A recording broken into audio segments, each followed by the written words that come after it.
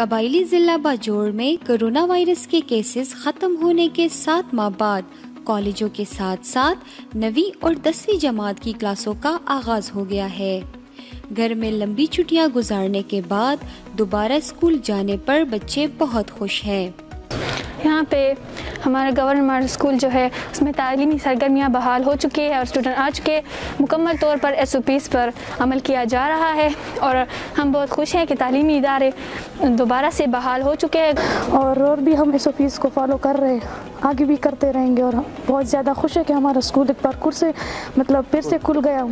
ज़िला भर के सरकारी और निजी स्कूल मदारस कॉलेज और जामियात में खसूस इंतज़ाम किए गए हैं। बाजोड़ के तालीमी इदारों में दाखिले के मकाम पर तलबा के दरमियान समाजी फासला रखने के लिए निशान बनाए गए हैं। वॉक थ्रो जरासीम कुश गेट नस्ब किए गए हैं इस मौके पर स्प्रे और सैनिटाइजर भी रखा गया है अलहमदिल्ला सुमा अलहमदिल्ला